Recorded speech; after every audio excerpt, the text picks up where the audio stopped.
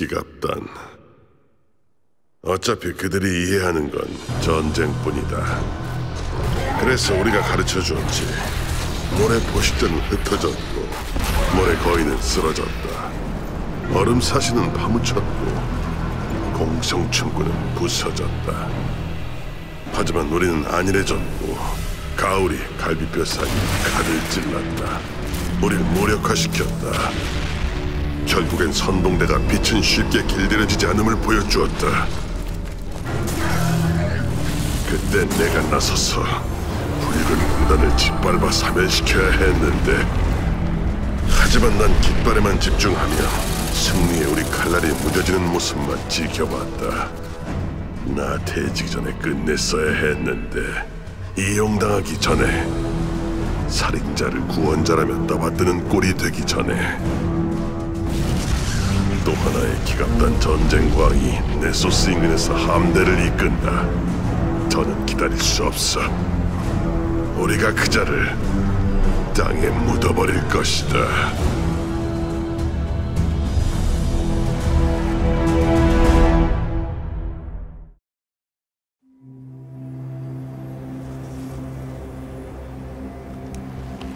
내 백성들도 평화라는 말을 알고 있지만 가볍게 뱉지는 않는다. 쉽게 쓰지도 않고 진심이 아니었다면 널 부르지도 않았을 것이다. 평화, 기갑단과 어둠이 이 행성계 외곽에 밀려들었다. 군체가 그걸 섬긴다. 둘 중 하나가 널 쓰러뜨릴 거야. 내 세계가 그랬다. 가야틀 여제. 그대가 겪은 비극은 유감이다. 우리 모두 고통받았다. 동맹을 제안한다. 기갑단의 동맹은 없다. 오직 정복군.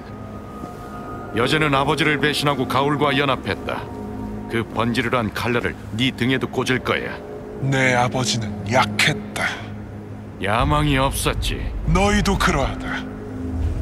사령관이 지평을 넓히지 않으면 인류도 살아남지 못하리라. 내 제국에 합류해라. 너희 칭호도 유지하고 전쟁의회에 자리를 주겠다. 내 군대와 너희 빛이 함께하면 기갑단이 군체를 말살할 수 있다. 그 다음은 검은 함대다. 복종하라. 아니,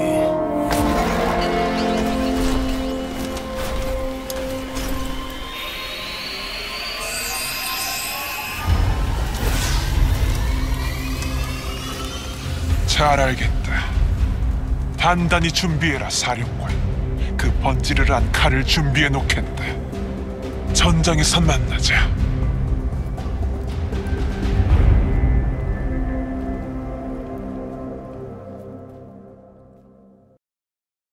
붉은 전쟁을 일으키며 인류에게 크나큰 위협을 가했던 기갑단이 또다시 태양계에 발을 들이기 시작했습니다.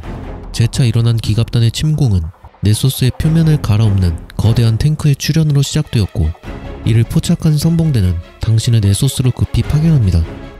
잘 듣겠소. 칼루스의 딸 카이아틀 여제가 우리 행성계에 나타났네. 기갑단 제국을 다시 통일하려는 거지. 제국 지상 탱크가 네소스를 돌파하는 걸 확인했네. 아이코라는 카이아틀과 관련이 있을 거라 하더군. 현장에 나가서 확인해 줄 사람이 필요하네.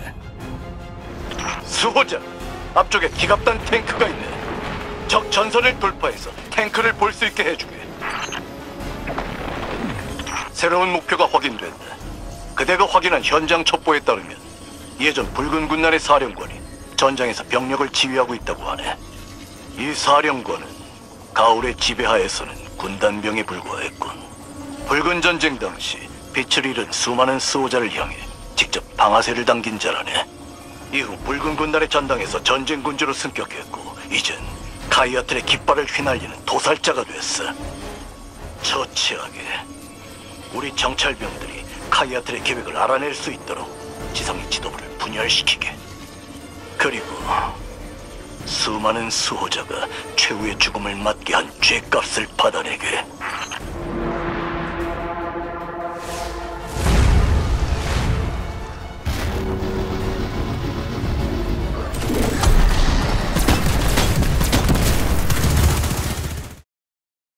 네소스에서 기갑단을 상대하느라 수고 많았네. 그걸로 끝이었다면 좋았겠지. 하지만 안타깝게도 그게 시작이었네. 카이아틀 여자가 제국의 새 얼굴이 되었고 내게도 충성을 요구하고 있네. 우리 대화는 그대의 예상대로 흘러갔지. 음. 그대가 입수한 정보 덕분에 확인한 게 있네. 예전 붉은 군단원과 지도자를 잃은 나머지 기갑단이 여제 전쟁 의회에 합류하려 경쟁하고 있네. 기갑단의 단합을 저지하기 위해 난 의회 후보자들을 제거할 팀을 결성하고 있고 살라딘 경이 현장 사령관을 맡을 거고 오시리스는 조언자로서 내게 보고할 걸세. 그가 신입 헌터 까마귀를 첩보 담당으로 지명했네. 이번에도 아만다 홀리데이가 공중 지원을 제공할 거야. 그대 임무는 간단하네. 태양계 전역에서 카이아틀의 사령관들을 제거하면 돼. 기갑단 지도부를 제거하면 내부 분쟁으로 카이아틀도 힘을 독차지하지 못할 걸세. 이 기회를 놓치면 또 한 번의 전면전이 불가피할 거야. 행운을 비네. 꽤 잘 어울리는 건 리프 승리의 전리품이지. 클린트가 재료를 골랐다. 왜 값을 치르지 못하게 하는 거지? 보답하고 싶다면 그 가면을 얼굴에서 떼지 마라. 도시의 무지로부터 자신을 지켜라. 나도 알고 있어. 변화에 필요한 일이라면 나도 함께하겠다. 나도 항상 변장을 한 채 이 거리를 걸어야 했다. 이제서야 환영받게 됐지. 너도 그럴 거다. 신중하게 기다려라. 아, 수호자. 살라딘이 네 공격을 아주 칭찬하더군. 그들은 탱크로 힘을 과시하려 하지만 강철 군지에 비할 수는 없지. 살라딘이 전선을 지켜줄 테니 우린 다른 곳으로 눈을 돌려도 돼. 표적이 필요하다. 리프 친구들이 그러더군. 현재 붉은 군단의 사령관들은 전부 야수 아니면 허풍선이라고. 치밀함 따위는 모르는 자들이야. 카이아틀의 눈길을 원할 뿐. 이 정보를 이용해 그들을 제압해라. 권력의 공백을 만들어 기갑단이 선택한 길을 보여줘라. 이상. 카이아틀의 사령관 드라쿠스를 제거한 당신의 활약으로 네소스의 기갑단 활동은 잠정 중단되고 정복의 종이라는 기갑단의 유물까지 획득합니다. 이 유물에 관한 정보가 그리 많진 않았지만 오시리스는 이 유물을 획득한 당신이 현재 카이아틀의 기갑단 제국에 선전포고를 한 것과 다름없다며 기갑단과의 전면전이 벌어질까 우려합니다. 자칫 제2의 붉은 전쟁으로 확산될지 모를 이 위태로운 상황은 카이아틀이 붉은 군단의 잔존 세력을 자신의 세력으로 편입시키기 위해 행한 고대 기갑단의 전통 의식인 증명의 의식을 장려하는 통신을 오시리스가 도청하는 데 성공하면서 기정사실화되는 듯 했습니다. 제국의 전사들이여 분노하고 있다는 건 알고 있다. 오랫동안 지도자들을 기다리고 있었을 테니까. 하지만 너희 천성은 변하지 않았다. 너희 분노가 휘두르는 대검이 되고 내질은 방패가 되고 포효하는 대포가 된다. 부서진 군단의 마지막 남은 인원에게 도전을 요구하겠다. 전투에서 가치를 증명해라. 고대의 의식이 다시 살아난다. 승자는 내 전쟁 의회의 첫 구성원이 될 것이다. 우리는 기갑단이다. 산을 씹어 삼킨다. 바다를 들이킨다. 하지만 지혜로운 오시리스가 카이아틀의 기갑단과 전면전을 치르지 않으면서 그들의 침공을 막아낼 놀라운 전략을 구상해냈습니다. 그 전략은 정복의 종을 소지한 자는 누구나 증명의 의식에 참여해 도전자가 될 수 있다는 기갑단의 전통을 역이용하는 것이었습니다. 즉, 카이아틀의 세력에 합류할 가능성이 있는 기갑단을 증명의 의식을 이용해 지속적으로 제거한다면 카이아틀이 더 이상 인재를 영입하지 못하고 세력을 규합하지 못해 타격을 입을 것이고 그리하면 카이아틀의 기갑단과의 전면전은 피하면서도 그녀의 세력을 축소시킬 수 있고 더 나아가 그녀의 권위에 금까지 낼 수 있는 일석이조의 전략이었습니다. 이러한 오시리스의 훌륭한 전략은 자발라와 살라딘과 같은 선봉대 수뇌부의 승인을 받아 전격 도입되고 이 전략을 유로파의 딥스톤 무덤에서 엑소의 기술을 훔쳐 자신과 병사들을 엑소 기갑단으로 만들어 카이아틀의 눈에 띄려는 골렘 바실리우스에게 적용합니다.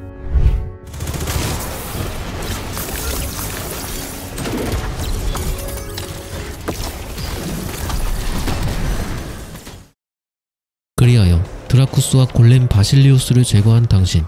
하지만 첩보 요원으로 임명된 까마귀에 따르면 이들 이외에도 태양계 곳곳에서 자신만의 방법으로 인류를 위협하는 기갑단이 남아 있었습니다. 하나는 지구의 발사 기지를 점령해 기갑단의 화력 기지로 만들어 태양계에서의 기갑단 입지를 공고히 하려는 바의 마라그. 다른 하나는 네소스에서 백스의 미래 예측 엔진을 이용해 알 수 없는 음모를 꾸미려는 원대한 자 익셀이 바로 그들이었죠. 이러한 까마귀의 첩보를 들은 현장 사령관 살라딘은 까마귀를 네소스에 파견해 백스 미래 예측 엔진으로 음모를 꾸미려는 익셀을 추적하게 하고 발사기지에는 당신을 파견해 발 마라그를 저지하게 합니다. 그리하여 발 마라그를 저지하기 위해 발사기지 전장에 도착한 당신. 하지만 전장에서 마주친 기갑단은 당신보단 군체에게 화력을 집중시키고 있었고 그런 기갑단에게서 당신은 분노와 더불어 뭔지 모를 슬픔까지 느낄 수 있었습니다. 전장의 상공에서 당신을 지원하던 아만다 홀리데이도 이러한 기갑단을 목격하고 당신에게 말합니다. 여기는 아만다 홀리데이 발사기지 상공에서 알린다. 기갑단이 나방 구획을 내려다보는 절벽에 기지를 구축했다. 군체가 제대로 씹어주고 있긴 한데 진드기처럼 딱 버티고 있어. 지금은 전적으로 군체에 집중하고 있는 것 같아. 놈들의 복수에 대한 열망을 보여주네. 군체를 잡으려고 모든 것을 걸고 우리 구역까지 진출했으니까. 기갑단은 이번 작전에서 공격성을 표출하는 것 같지만 그 본질은 슬픔일 거야. 우리 때문에 온 게 아니야. 복수를 하러 온 거지. 왠지 이해할 수 있을 것 같아. 인류 최후의 도시를 빼앗기고 수많은 인류가 살해당한 붉은 전쟁을 통해 복수의 칼을 갈았던 경험이 있는 홀리데이는 군체에게 복수하려는 기갑단에게서 과거 자신의 모습을 보았고 이는 홀리데이뿐만이 아니라 당신도 마찬가지였습니다. 이로 인해 기갑단이 발사 기지에 나타난 것이 단지 이곳을 기갑단의 화력 기지로 만들어 인류에게 적대하려 했던 것이 아닌 군체가 기갑단의 고향을 살육의 대현장으로 만든 것에 대한 복수를 하기 위함이었다는 것을 알아챈 당신. 하지만 현장 사령관 살라딘의 말처럼 기갑단을 동정할 순 없었습니다. 기갑단이 발사기지에 침입했다. 지금도 발마라그가 군체 소굴을 공격하고 있다. 그자가 성공하면 카이아틀의 전쟁 의회에 합류할 거야. 그러면 발사기지에도 기갑단이 몰려들겠지. 가만 내버려둘 수는 없다. 최고의 수호자를 양성하는 지역이 붕괴돼서는 안 돼. 그래서 당신은 발사기지에서 발 마라그를 제거합니다. 그리하여 드라쿠스와 바실리우스에 이어 발 마라그까지 제거하고 탑으로 복귀한 당신은 카이아틀과 언쟁 중인 오시리스를 목격합니다. 많이 기다렸나? 무모한 너희 사령관들을 통제하느라 바빴다. 무모하다고? 음, 유서 깊은 전통이지. 네가 상관할 바 아니다. 전쟁 의회 구성원을 선발한다고 하지 않았나? 상관 안 할 수가 없지. 너희 사령관도 중요한 구성원이 될 수 있다. 내 제안을 받아들이기만 하면. 넌 현명한 자인 것 같군. 우린 둘 다 최고의 승리는 전쟁이 시작되기 전에 거두는 것임을 알고 있다.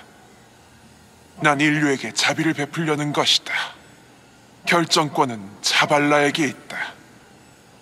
물론 너에게도 있지. 기갑단 여제가 자비를 논하다니. 이건 좀 낯설군.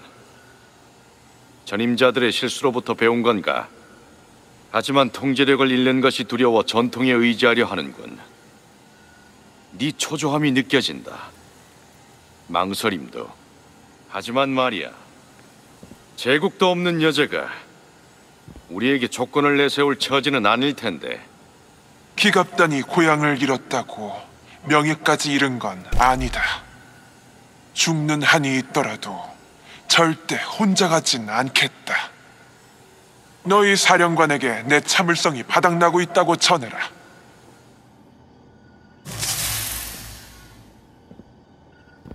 네 임무는 동일하다.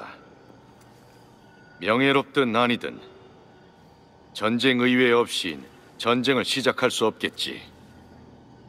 오시리스에게 말하는 카이아틀에게서 고향을 잃어 오갈 데 없어진 기갑단의 두려움과 기갑단 내부에서 야기되는 것으로 보이는 알 수 없는 초조함이 묻어나오는 것을 감지한 당신은 이로 인해 기갑단의 현재 상황과 카이아틀이라는 인물에 대한 궁금증이 더욱 증폭되기 시작합니다.